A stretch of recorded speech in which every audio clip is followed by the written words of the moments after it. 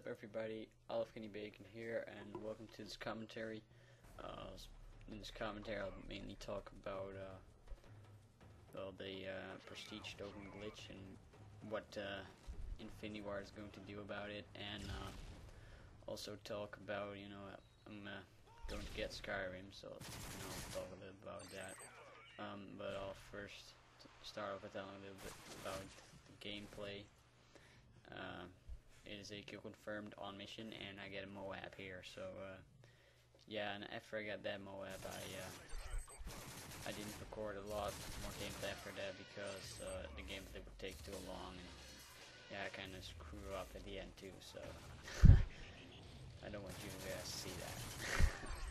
but uh, I'll start off with uh, you know the prestige token glitch. if you didn't know it already, there's a a token glitch you can still do right now, but I wouldn't recommend doing it because uh, Infinity Ward's going to oh, sorry for that.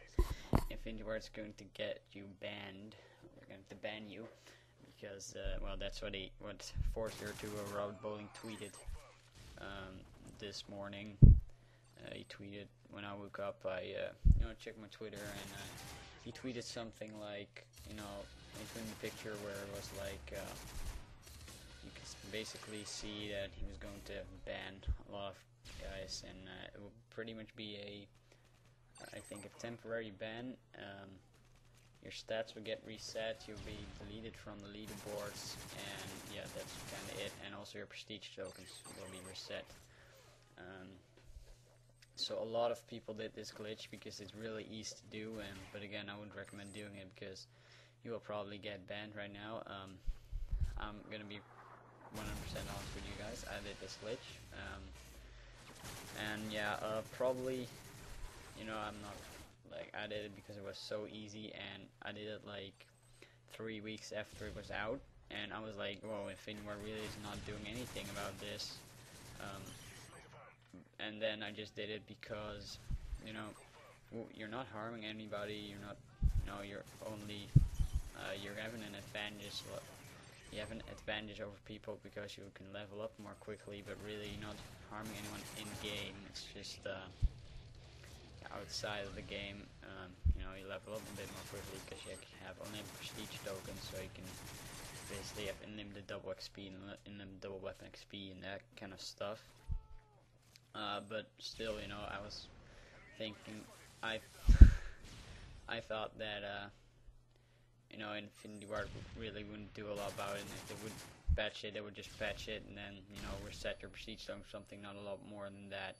Uh, but they really did, they really, well, uh, Rob Bowling tweeted that they are going to ban you and then reset your stats and everything, so that's kind of a lot, and, uh, you know, after he tweeted that, like, the picture, like, uh, you know, where, where I could see that they were going to ban people, um, on my PS3 and checked, and uh, wasn't banned. I'm still six prestige level, 55, I believe. Um, so yeah, I'm still, and right now it's uh, 10 p.m. and I'm still not banned or reset or anything. So I'm wondering if they're really gonna do anything about this. Um, I wouldn't really care that much because I uh, just bought Skyrim, which uh, brings me into the next topic um, about Skyrim, and I'm probably going to be doing a let's play of that.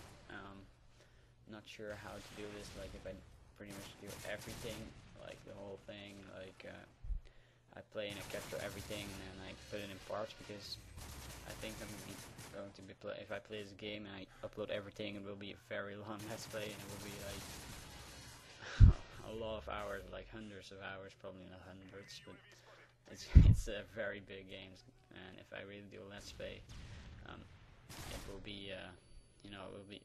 I'll have to do a lot of parts and everything. So, so I'm thinking about just, uh, you know, just uploading the highlights and stuff. You know, like uh, I do a Let's Play and then upload all the highlights and stuff. So that's kind of what I may do or may not do.